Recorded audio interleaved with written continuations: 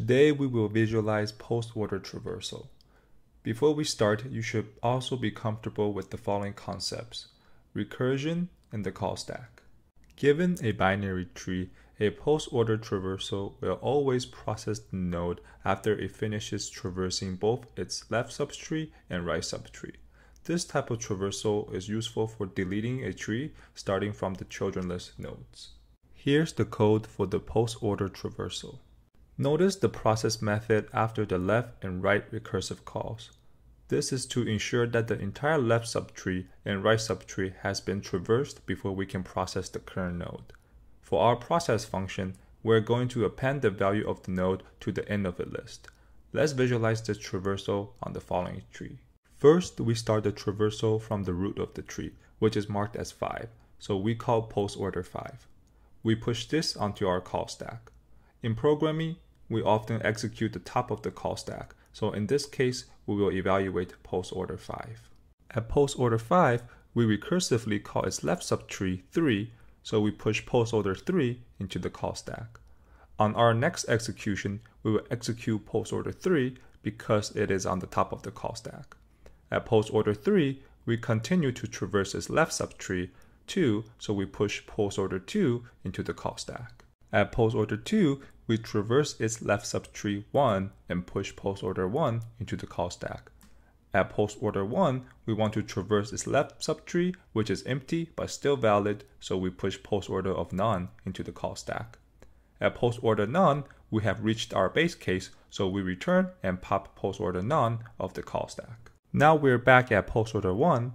Since we just exit its left subtree, we can now proceed to its right subtree. As usual, we push post order none into the call stack and pop it off since it will hit its base case.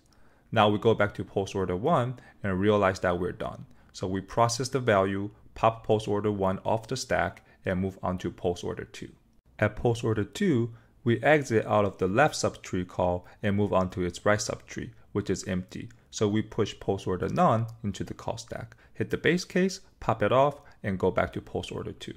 At post order 2, we move on to process the value and then pop it off the stack and move on to post order 3. At post order 3, we exit out of the left subtree, so we will traverse its right subtree, which is 4. So we push post order 4 into the call stack. At post order 4, we traverse the left subtree, which is empty, so we push post order none into the stack, pop it off. Then we move on to traverse the right subtree, which is also empty we push post order none into stack and pop it off again. We go back to post order 4 and process its value. Then we pop it off the stack and go back to post order 3. We process the value at post order 3, pop it off the stack, and move on to post order 5. At post order 5, since we just finished traversing its left subtree, we begin to traverse its right subtree 7, so we push post order 7 into the call stack. At post order 7, we traverse the left subtree, which is empty, so we push post order none into the stack, pop it off, and move on to traversing the right subtree, which is also empty, so we push post order none and then pop it off the stack. Now we process the value at post order 7, pop it off the stack, and move back to post order 5. We have finished traversing both subtrees of post order 5, so we process its value and pop it off the stack.